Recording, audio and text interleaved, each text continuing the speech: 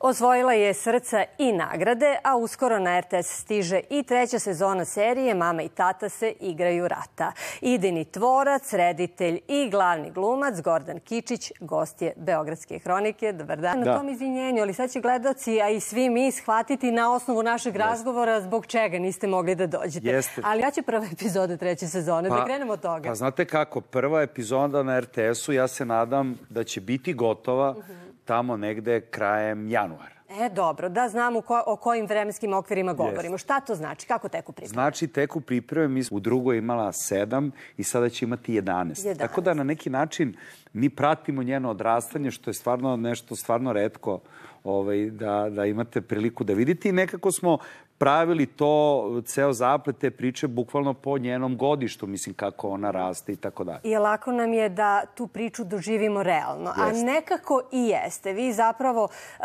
pratite sve ono što se dešava u životu, ono što su razne uh, zgode i nezgode jeste. u jednoj porodici, u druženjima, prijateljstvima. I evo u trećoj sezoni imaćemo vidu koja je porasla, jeste, a vi ste svi malo ovaj, ostarili, ovaj, tako jel tako? Kako se nosite sa pa tim? Pa znate kako to su sad uh, polako krize srednjih godina. Serija jeste realna i verovatno zbog toga e, gledana, yes. mi se prepoznajemo u tome.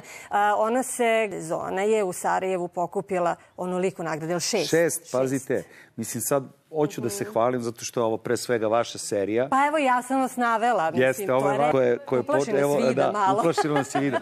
Naša, ovaj, uh, kako bih rekao, putešestvije koje je krenulo pre nekih 4-5 godina, evo ulazi u treću sezonu i mislim ima i potencijala i da ide dalje. Tako da nadam se da će ova sezona dobro proći, da će biti uspešna. Ona...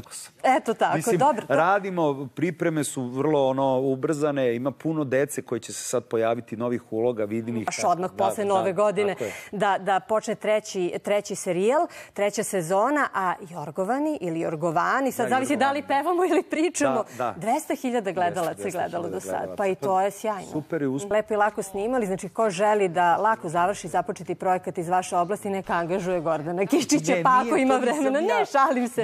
To ja hoću još malo da vas pohvalim, pošto ste Beogradske hronike sa uh, velikom pažnjom ćemo naravno pratiti Hvala. treću sezonu i razgovarat ćemo Hvala još o tome. Hvala. Uh, Gordan Kičić, da kažem sad odjevi samo glumac, bio je naš gost. Kog dana se samo na Instagramu postave 282 miliona selfija i svako se trudi da bude originalan i poseban. Neki su u toj želji spremni bukvalno da rizikuju život. Razgovarajte sa decom i o ovoj temi. Hvala vam što ste pratili Beogradsku hroniku. Želim vam prijetan i lep ostatak dana i doviđenja.